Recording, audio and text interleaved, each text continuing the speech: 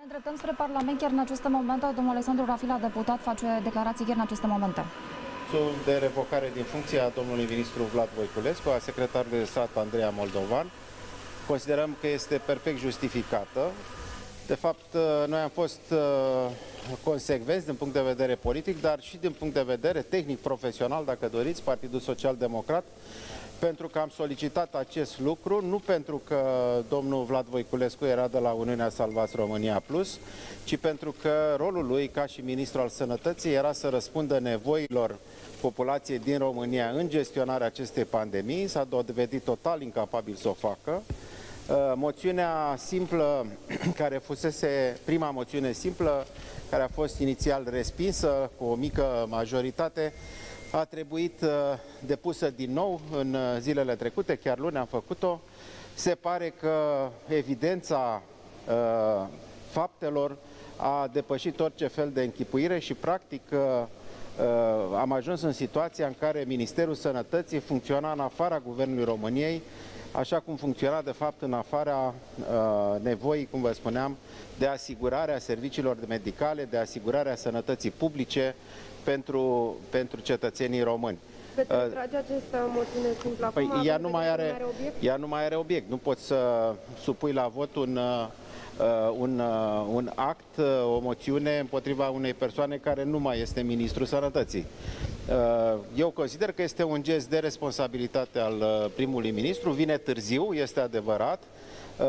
Ceea ce s-a întâmplat în ultimele săptămâni, în ultimele luni, în mod evident, a dus la pierderea controlului pandemiei și probabil că, văzând acest lucru, primul ministru a acționat. Vă rog. USR ia în calcul ieșirea de la guvernare. Sunt mai mulți membri din conducerea USR care susțin această variantă. Dacă se va întâmpla acest lucru, Partidul Social Democrat este dispus să intre la guvernare alături de PNL și UDMR? Eu nu sunt uh, în poziția să vă spun acest lucru, nu fac parte din conducerea executivă a partidului. O să vă spun o opinie personală.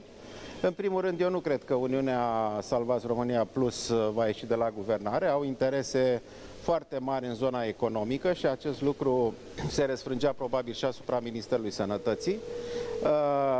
Uh, personal nu cred acest lucru, dar uh, oricum în politică totul este posibil.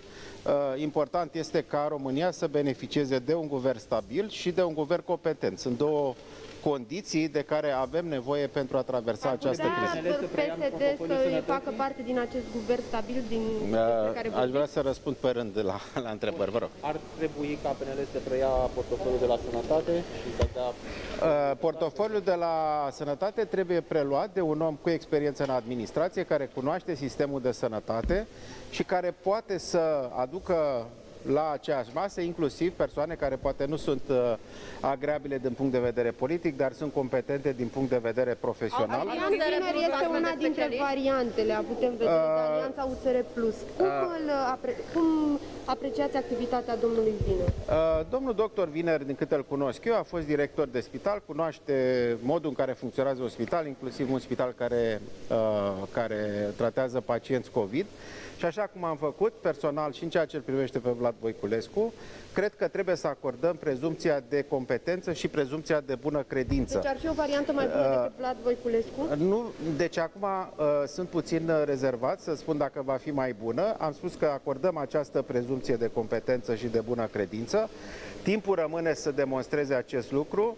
Important este ca să nu politizeze, așa cum a făcut Vlad Voiculescu Sănătatea Publică, să apeleze la persoane fără calitate sau fără calificări profesionale medicale uh, în detrimentul specialiștilor atunci când a luat decizii.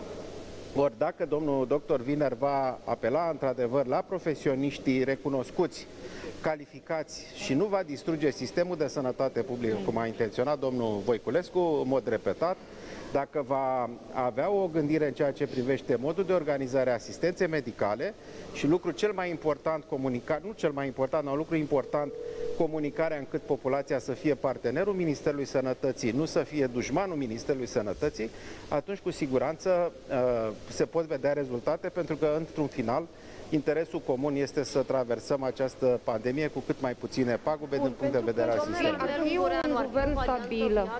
Uh, nu știu dacă domnul Emanuel Ungureanu are dânsul calificarea suficientă, probabil că are experiență politică suficientă, nu știu, că nu am, nu am suficiente informații în ceea ce privește experiența lui profesională în gestionarea instituțiilor medicale.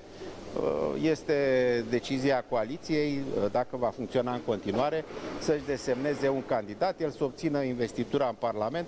Până la urmă, cum vă spuneam, asumarea politică trebuie să existe, dar există și o limită uh, pe care, în mod evident, Vlad Voiculescu a depășit.